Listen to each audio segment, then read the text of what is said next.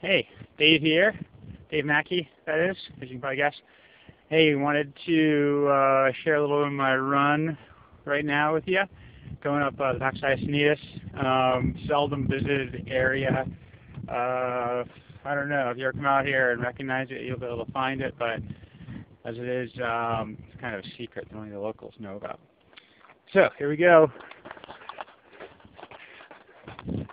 Oh, and while we're at it, let's talk about Pikes Peak Marathon. This past weekend. Lovely uh, outside of Manitou Springs, Colorado. Uh, well, let's just say it wasn't the perfect race, but uh, got done, got seventh place. Uh, my worst finish ever there. I had three other second place finishes in the past uh, 10 years. But uh, the ascent, I realized this is uh, if you're going to do that well, you need to at altitude, which I unfortunately could not do for the whole month of uh, July.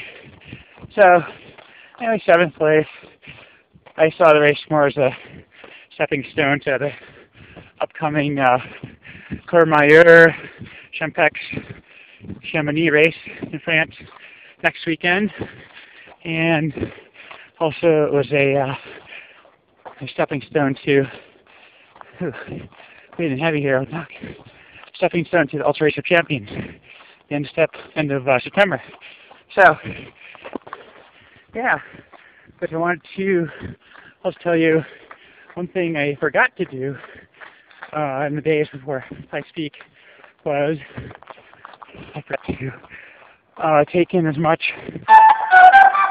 Vitargo as possible. Uh, I did not do about 800 calories per day, which I found in prior races pretty critical to success.